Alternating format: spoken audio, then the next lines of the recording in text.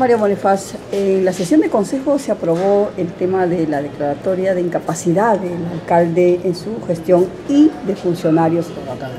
Eh, los funcionarios han señalado una denuncia penal contra los regidores porque ellos no se sienten incapaces. ¿Cuál es la apreciación que tiene y qué harán ustedes?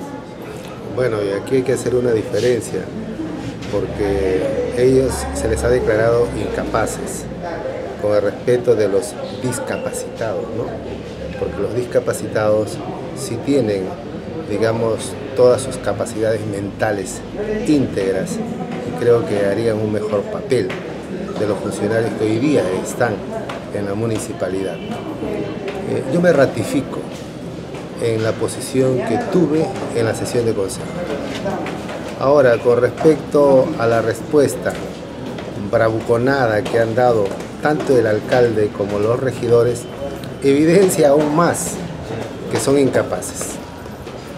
En primer lugar, ellos están configurando difamación, calumnia. Y esto no es un tema de un juicio penal, sino es una querella. En primer lugar.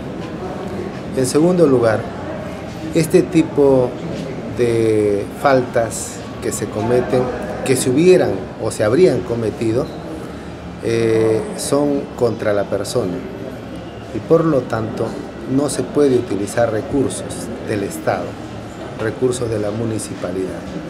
Y acá ya están incurriendo en delito.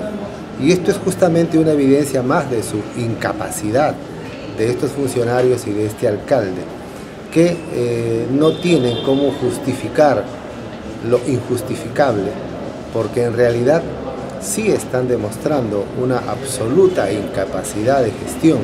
En algunas áreas, porque se ha notado, incluso eh, decían algunos funcionarios, por ejemplo, yo acá en registro civil estoy atento, he acortado los tiempos, yo no me siento incapaz, pero el área de presupuesto, el área de transporte, el área de seguridad ciudadana, que sí se puede generar. Sí, justamente acá habría que generalizar porque si no tendríamos que haber individualizado, ¿no? Pero nosotros vemos que los problemas críticos de la ciudad no están siendo solucionados adecuadamente. Después de dos años ha demostrado el alcalde y sus funcionarios que no tienen la capacidad para solucionar estos problemas. Y si no tienen la capacidad para solucionar estos problemas, ¿cómo le vamos a decir? Incapaces. Pero es problema de la cabeza del capitán o de los marineros, cree usted. De todos. Mayor en el que dirige, el alcalde, quien ha demostrado ignorancia, quien ha demostrado soberbia, quien ha demostrado incapacidad para enfrentar los problemas de ICA. ¿No escucha los consejos? No, no escucha absolutamente nada. Por eso ¿Ignorancia después de haber ocupado tantos cargos públicos? Sí, pero por accidente. Eh, cuando llega a ser alcalde de Parcona, llega por el partido aprista que estaba en su mejor momento. Cuando llega a ser congresista, llega a serlo por un movimiento que emergía, como es el de Salas de Huancavelica, que en esos momentos, conjuntamente con Popio Olivera, eran una especie de vedette. ¿no? Entonces llega por accidente. Las circunstancias. Y, y justamente ahora llega también por accidente, ningún iqueño pensaba de que él iba a ser alcalde, Gallegos lo acoge en su lista y después le tira una patada al propio Gallegos, ¿no? Entonces, por otro lado, cuando él fue alcalde, se manejaba el dinero de las obras en maletín y en el bolsillo y en el escritorio. No existía el CIAF, ¿no? Entonces, hoy día, cuando él llega nuevamente a la municipalidad, se siente en el escritorio de lo que me dicen los funcionarios de aquel entonces, cuando inicia esta segunda gestión, que los mandó pedir plata, que vayan a pedir en Mapica, que pidan, es decir, eso no se puede hacer, le respondieron. Acá hay que iniciar un proceso, eso le costó la cabeza a muchos, pero en realidad hoy día la gestión pública es diferente. Y este señor no tiene la capacidad para desempeñar este tipo de cargo, ya lo ha demostrado.